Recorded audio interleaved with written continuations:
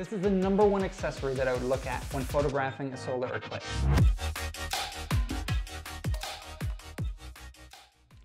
Hey folks, it's Nathan from Nikon, here today to talk about the upcoming solar eclipse that's happening on April 8th, 2024.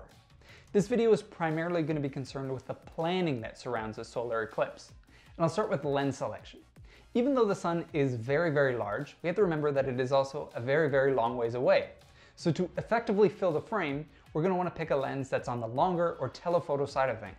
A couple good options would be something like the Z70 to 200 millimeter, the Z100 to 400 millimeter, the Z180 to 600 millimeter, which I will be using personally, or even something like the Nikkor Z 600 or 800 millimeter PF lenses. After our lens selection, there's a few accessories that I would consider, starting with this. This is the number one accessory that I would look at when photographing a solar eclipse. What it is, is a neutral density solar filter.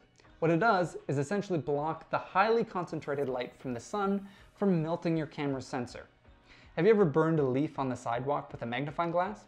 Well, that's essentially what you're doing when you're pointing your camera lens at the sun, except you're not burning a leaf, you're burning your camera's sensor. This will prevent that from happening. As a tip, I would recommend purchasing one of these sooner rather than later because they tend to sell out rather quickly as we get closer to the actual solar event. Now that we've protected our camera, we need to think about protecting our own eyes. To do that, I would recommend purchasing a pair of these solar sunglasses. These are relatively inexpensive and can be picked up from a variety of different locations. The final accessory that I would consider is a good tripod. That'll come in handy if you're doing any sort of multiple exposure technique, which we'll talk about in a future video. After compiling our gear and accessories, we need to find a good location. Now, this may seem pretty basic, but we have to remember that a solar eclipse can last as short as three to four minutes, leaving very little time in the moment to actually compose a shot.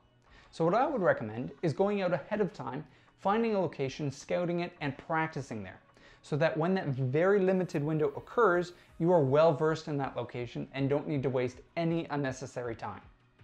Also, because we're still a ways away from the actual solar eclipse, we don't yet know what the weather is going to be like. It could be raining, it could be sunny. Ideally it would be sunny, but we just don't know yet.